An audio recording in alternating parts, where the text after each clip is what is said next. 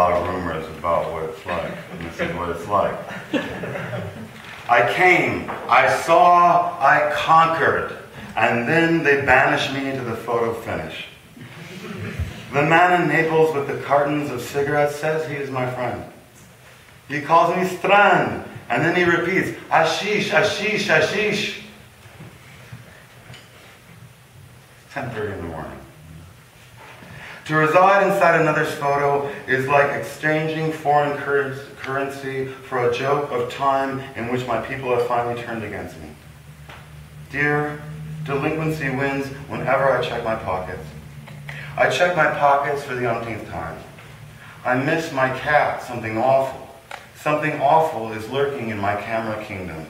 All my payments are currently delinquent.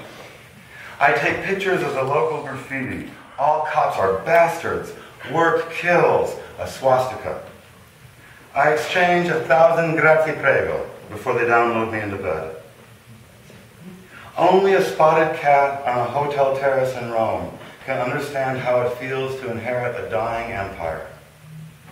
Only a spotted cat on a hotel chair knows that Andy had lost his beloved spotted cat Ajax just last month.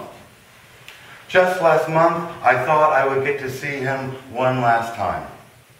One last time is the most awful idiomatic phrase.